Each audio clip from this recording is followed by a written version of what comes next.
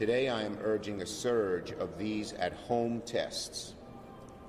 They should be distributed to community health centers, they should be distributed by mobile vans, and given free when a person wants a test. The more testing we have and the quicker we have, the better we can deal with Omicron. That's what the experts tell us. So instead of saying go to your pharmacy, pay for it, and then maybe your insurance company will reimburse you, give them to community health centers, put them out on mobile vans, and let people get the tests for free. We have plenty of these tests.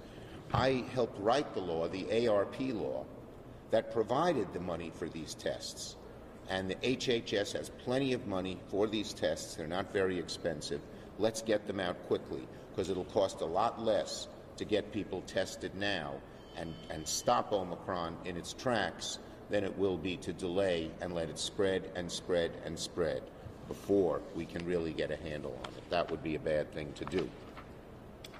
so, there's billions that HHS has, and this is one of the best ways that HHS can use it. We gave them uh, close to $50 billion to deal with stopping the spread of the, of the COVID-19 variants.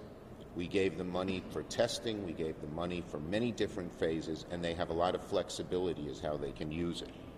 Portions of the country are waiting for Omicron to arrive, but it's already here in New York. We have more Omicron in this state than any other, and we have found it in New York City, in Long Island, and in upstate. So we need to do this across the state. We need a surge of these tests so we can stop Omicron um, from spreading quickly and virulently, which is what we don't want.